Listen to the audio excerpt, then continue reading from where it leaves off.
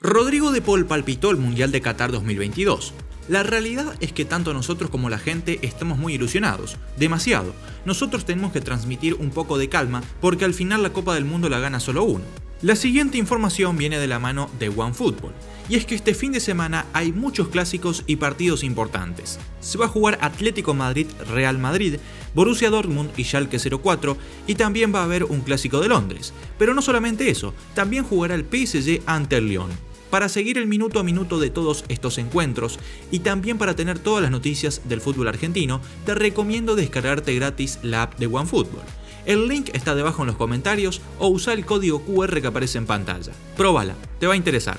Aston Villa, con Emiliano Martínez como titular y el ingreso de Emiliano Buendía, derrotó al Southampton 1 a 0. El Dibu logró por primera vez en lo que va de la temporada la valla invicta. Emiliano cayó al piso por un dolor de rodilla pero siguió el partido. ¿Habrá tenido una molestia o fue solo para hacer tiempo? Luis Campos, director deportivo de PSG, habló sobre la continuidad de Messi en el club parisino.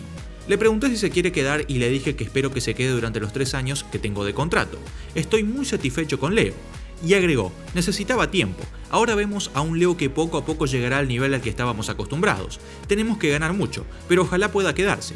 El Cuti Romero, zaguero central de la selección y del Tottenham, consideró a su compatriota Lisandro Martínez uno de los mejores defensores de la Premier League. El mejor defensor para mí es Virgil van Dijk, siempre, y Lisandro Martínez, para mí son los mejores de la Premier. Nehuen Pérez, jugador de Udinese y de la selección argentina, habló sobre Messi. Siempre tengo miedo de tocarlo o de lesionarlo. Hay que cuidarlo. Si se nos lesiona estamos en el horno. No tenemos que ser boludos. Carlos Tevez no ocultó su molestia por la falta de intensidad de su equipo ante estudiantes. Cuando entramos en puntitas de pie nos cuesta, y creo que los chicos tienen que entender eso, pero cuando levantamos pasto y jugamos como tenemos que jugar, es difícil que nos sigan el ritmo, como en el segundo tiempo, analizó la Pache. Víctor Blanco, presidente de Racing, elogió a Edwin Cardona. Nadie duda de la capacidad de Cardona y de lo que es futbolísticamente, pero tiene que poner lo suyo. Lo está haciendo y estoy convencido de que sobre el final nos va a dar una ayuda importante.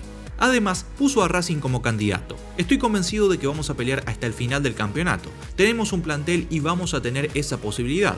Humbertito Grondona, hijo de Julio, contó el consejo que le dio su papá a Daniel Angelici. Mi papá fue el que le dijo a Angelici arreglarle el contrato a Riquelme porque en algún momento de la vida te la va a poner.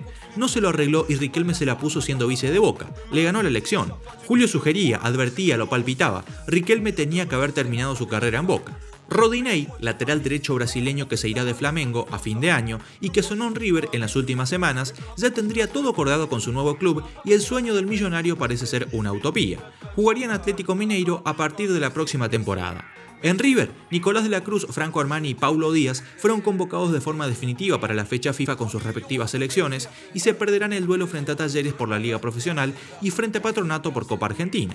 Según la información de TNT Sports, Felipe Peña Biafore sufrió un edema óseo en su rodilla izquierda y es por eso que no está jugando. Su tiempo de recuperación es incierto, ya que temen que pueda convertirse en una fractura. River dio a conocer la lista de convocados de 23 jugadores para enfrentar a San Lorenzo este domingo a las 15.30 en el nuevo gasómetro. Son los mismos que estuvieron frente a Banfield el pasado miércoles. En cuanto al equipo, Enzo Pérez y Milton Casco volverían a la titularidad por Bruno Zuculini y Elías Gómez. En Boca, la duda está en si para el lunes Nicolás Figal llegará o no en condiciones para jugar ante el Globo, ya que parece un traumatismo en su rodilla derecha. Si no puede jugar, Facundo Roncaglia sería su reemplazante.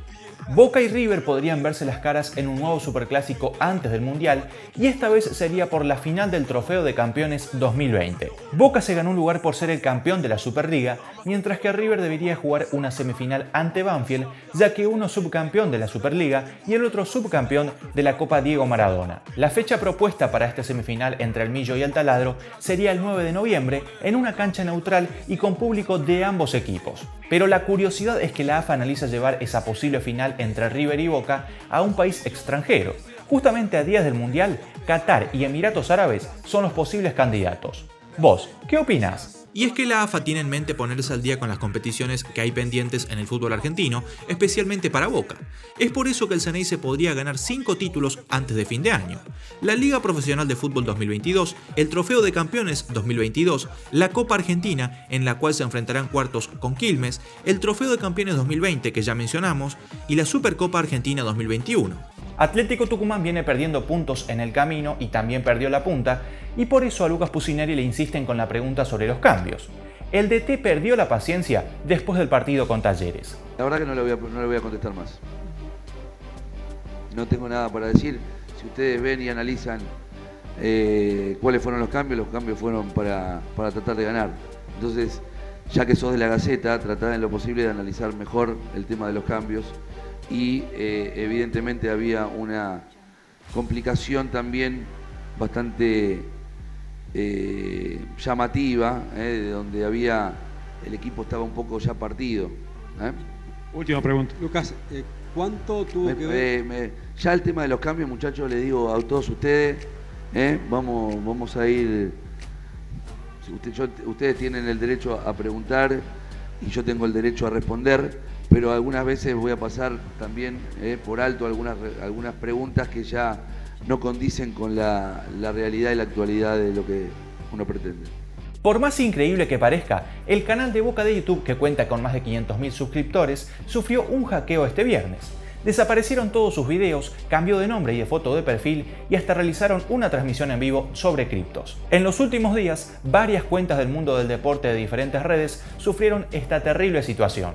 De más está decir que no son los del Consejo de Fútbol que te pidieron en ese vivo que les dones criptos, sino que son los estafadores y no tenés que darles nada.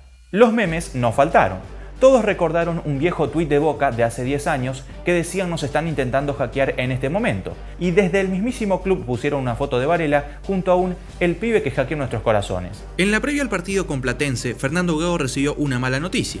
Carlos Alcaraz recibió dos fechas de suspensión tras la expulsión ante estudiantes.